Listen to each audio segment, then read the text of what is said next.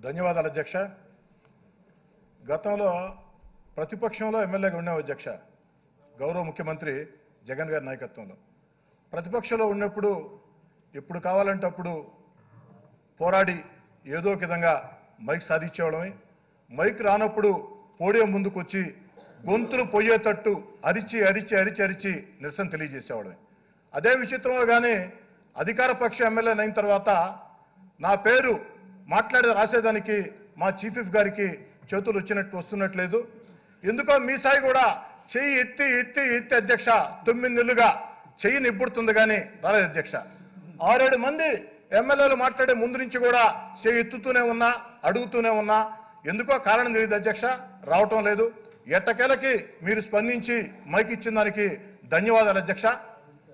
అధ్యక్ష ఈ శాసనసభలో మేము ఎమ్మెల్యేలుగా ఉన్నామంటే దానికి కారణం ముగ్గురు అధ్యక్ష.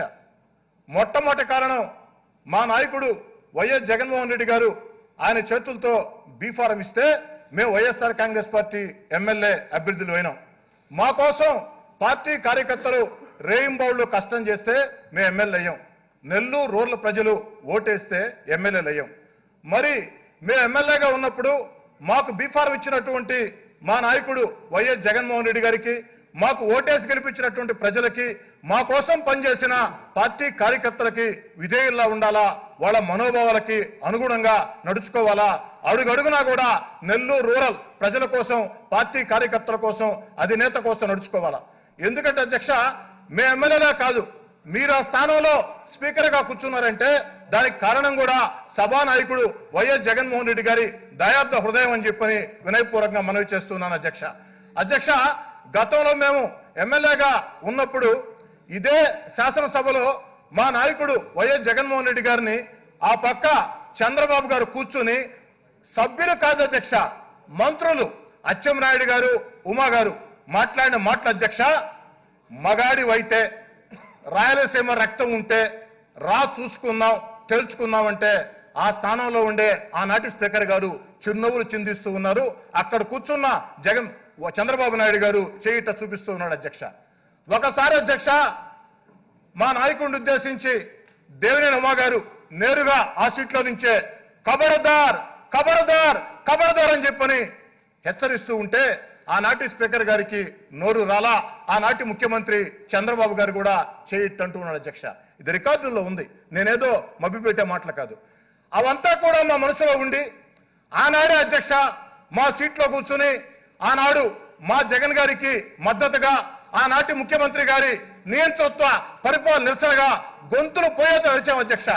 రికార్డులోకి రాలా. ఆ మనసులో ఉండబట్టే అధికార పార్టీ ఎమ్మెల్యే అయిన తర్వాత ఒకసారి మీ అనుమతితో మైక్ తీసుకుని ఆనాటి అనుభవాలను గుర్తుకు తెచ్చుకుని చంద్రబాబు గారిని అదే కపడదారని చెప్పని అచ్చెవనాయుడు గారిని రా తెలుసుకుందామని మాట్లాడాను తప్ప మరో ఉద్దేశం కాదు అధ్యక్ష. మరి ఆనాడు నేను మాట్లాడినప్పుడు చంద్రబాబు గారిని కబడదారంటే కడుపు మండి మాట్లాడారు అధ్యక్ష. ఆ గత సంఘటన గుర్తుకొచ్చా అధ్యక్ష. పాపం మా పార్టీలో ఒక ప్రబుద్ధుడు నన్ను పిలిచి నాకు నీతులు చెప్పాడు అధ్యక్ష. అందుకే అధ్యక్ష ఏది మాట్లాడాలో ఏది మాట్లాడాలో తెలియక ఇందాక అంత పెద్ద గల్వా జరుగుతుంటే నా సీట్లో నేనే ఉన్నా. ఎందుకంటే అధ్యక్ష నాకు కాస్త ఆవేశం జాస్తి. ఆవేశానికి అర్థం ఉంటుంది అధ్యక్ష. ఆవేశపరులు ఎప్పుడు కూడా కుట్రదారులు కాదు. ఆవేశపరులు ఎప్పుడు కూడా మనం ఏ పార్టీలో ఉన్నామో ఆ పార్టీ అధినేతలకి విధేయులుగా ఉంటాం. బయట ఒక మాట లోపల ఒక మాట టీవీలో ఒక మాట ఒకే ఒక మాట అధ్యక్ష. కుట్రదారులు ఏం చేస్తారంటే అధ్యక్ష ఏ పా- ఒక పార్టీలో ఉండి మరో పార్టీ నాయకుడు వద్దకెళ్ళి కాళ్ళకి దండం పెడతారు అధ్యక్ష. లేదా ఆ నాయకుడితో లోపాయికారి ఒప్పందాలు చేసుకుంటారు అధ్యక్ష. అలాంటి వాళ్ళకి కుట్రదారులు అవుతారు అధ్యక్ష. మేము ఆవేశపరులం. ఏదుంటేదే మాట. అందుకే ఆ వేదిక మీద ఎక్కి తెలుగుదేశం పార్టీ ఎమ్మెల్యేలు మిమ్మల్ని చేయి చూపిస్తూ మాట్లాడుతూ ఉన్నా మా నాయకుడు జగన్మోహన్ రెడ్డి గారిని నీచంగా మాట్లాడుతూ ఉన్నా అక్కడి దాకా నేను వస్తే ఏం చేస్తానో తెలియక ఆ చేసిన తర్వాత ఎన్ని మాటలు పడాల్సి వస్తుందో అనే బాధతో అక్కడి దాకా రాలేదు అధ్యక్ష.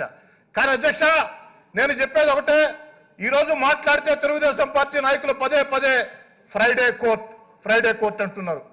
ఎందుకు వచ్చింది అధ్యక్ష ఫ్రైడే కోర్టు? దివంగత మహానేత వైఎస్ రాజశేఖర రెడ్డి గారు ప్రపంచంలో ఏ ముఖ్యమంత్రి ఇచ్చినట్టు సంక్షేమ పథకాలను పెట్టి దురదృష్టవశాత్తు మరణిస్తే ఆయన మరణించిన తర్వాత ఐదు వందలకు పైగా గుండె లాగితే ఆ యొక్క మరణించిన వాళ్ళని ఓదార్చాలని చెప్పని జగన్మోహన్ రెడ్డి గారు ఓ మాట చెప్పారు అధ్యక్ష. ఓదార్పు యాత్ర ఆపమని సోనియా గాంధీ గారు చెప్పారు. ఓదార్పు యాత్ర ఆపితే ఆ వెంటనే కేంద్ర కేబినెట్ మంత్రి పదవి మరో తొమ్మిది నెలల్లో రాష్ట్ర ముఖ్యమంత్రి పదవి సోనియా గాంధీ గారు ఇస్తామని చెప్తే ఆ రోజు జగన్ గారు ఒకే ఒక మాట చెప్పింది. నేను మాట చెప్తే మాట తప్పను మడమ తిప్పను. ఆ మాట నా కంఠం తెగిపడినా నిలబెట్టుకుంటా. నేను మాట తప్పితే రాజశేఖర రెడ్డి కడుపున ఎందుకు పుట్టానని చెప్పి ప్రజలు భావిస్తారు. మాట తప్పున అధ్యక్ష జగన్ గారు మాట తప్పి ఉంటే రోసయ్య గారి టైంలో ఈ రాష్ట్రం నుంచి కేంద్ర కేబినెట్ మంత్రి జగన్మోహన్ రెడ్డి గారు. కిరణ్ కుమార్ రెడ్డి గారి స్థానంలో వైఎస్ జగన్మోహన్ రెడ్డి గారు ముఖ్యమంత్రి అధ్యక్ష.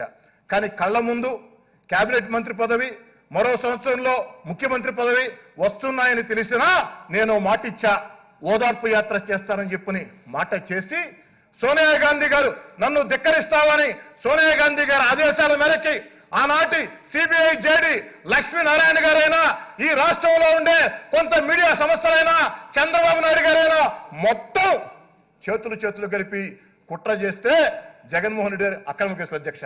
అధ్యక్ష తప్పు చేసిన వాడు కోర్టుకెళ్ళి విచారణ అడ్డుకుంటారు స్టేలు తెచ్చుకుంటారు లోపాయకారి ఒప్పందాలు చేసుకుంటారు చీకట్లో కాళ్ళు పట్టుకుంటారు. తప్పు చేయని వాడు ఒక మగాడిలా మేరు నగదీరుడిలా ధీరోదాత్తుడిలా ముందుకు సాగుతారు తప్ప ఎవరికి సాష్టాంగ ప్రమాణం చేయరు. మా నాయకుడు వైఎస్ జగన్మోహన్ రెడ్డి గారు తప్పు చేయలేదు కాబట్టే ఎన్ని కేసులు భరాయించినా జైళ్ళలో పెట్టినా కడిగిన ముత్యంలా బయటకు వస్తా అన్న నమ్మకంతో అచంచల విశ్వాసంతో ఆనాడు పోరాటం సాగించారు అధ్యక్ష. మరి ఈ రాష్ట్రంలో వైఎస్ జగన్ గారు సాగించినటువంటి పాదయాత్ర జగన్ గారికి వ్యతిరేకంగా సాగించిన కుట్రలు మొత్తం ప్రజలు గమనించారు కాబట్టి నూట యాభై ఒక్క స్థానాలు ఇరవై రెండు ఎంపీ స్థానాలు యాభై శాతం ఓట్లతో ఆంధ్రప్రదేశ్ చరిత్రలో చరిత్ర అనే విషయాన్ని జగన్ గారు సాధించారు అధ్యక్ష. అందుకే అధ్యక్ష ఈ వేదిక మీద నుంచి వాళ్ళు మాట్లాడిన మాటల్ని తీవ్రంగా తీసుకోండి. బాధేస్తుంది అధ్యక్ష. వాళ్ళు మాట్లాడిన తర్వాత అక్కడ సభ్యుడు మాట్లాడాడు. కఠిన చర్యలు తీసుకోవాలని. బాగుంది. వెంటనే మీరు మరో సభ్యుడిని అలౌ చేశారు.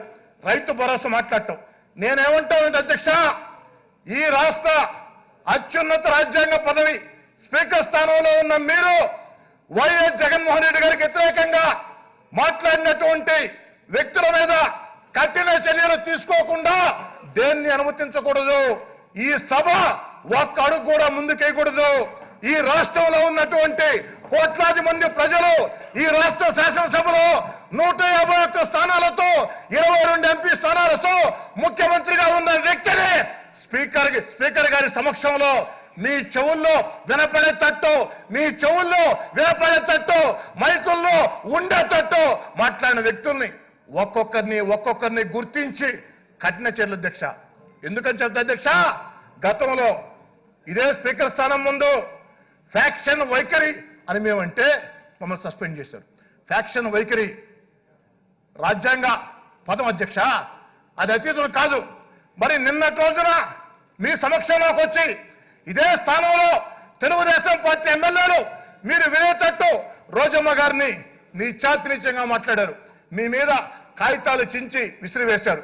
నిన్న మనం చర్యలు తీసుకోలేదు కాబట్టి అలుసై ఈ రోజు పోడియం మీదకి వచ్చి మీకు హెచ్చరికలు జారీ చేస్తూ ఈ రాష్ట్ర ముఖ్యమంత్రి ఇచ్చిగా మాట్లాడారు కాబట్టి స్పీకర్ గారు ఖచ్చితంగా మాట్లాడిన సభ్యుల మీద ఆషామాషీ చర్యలు కాకుండా కఠిన చర్యలు తీసుకున్న తర్వాతే ఈ సభ అడుగు ముందుకేయాలా? అలా కాకుండా కఠిన చర్యలు తీసుకోకుండా ఆషామాషీ చర్యలు తీసుకున్నా ఈ సభని ముందుకు జరగనిచ్చే ప్రశ్న లేదని చెప్పని తేల్చి చెప్తూ మీ వద్ద సాధారణంగా సవినయంగా